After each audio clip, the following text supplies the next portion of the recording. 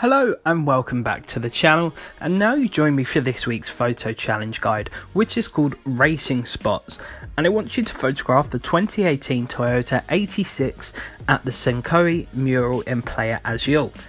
Now this is the car in question, the 2013 Toyota 86. It will set you back 28,000 credits so it's super cheap but I'm sure most of you guys already have this car.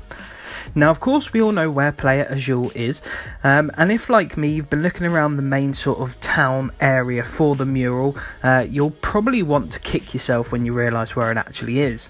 So, if you head over here to the Lugar Tranquilo house that you can purchase, some of you may own it, some of you may not, doesn't really matter if you do or don't. Well, the actual cheetah mural is located here. So as you can see behind, that was the sort of dialogue to enter the house. And here is on the orange building with a turquoise wall, the cheetah mural.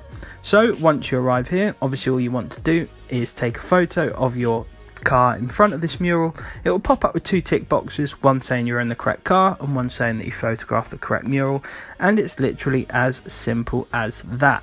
Um, hopefully this guide did help you out. Uh, if you are struggling with anything, of course, please do let me know down below in the comments.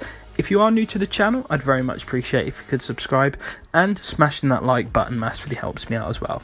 But apart from that, folks, I want to wish you all the best. Make sure you stay safe and take care.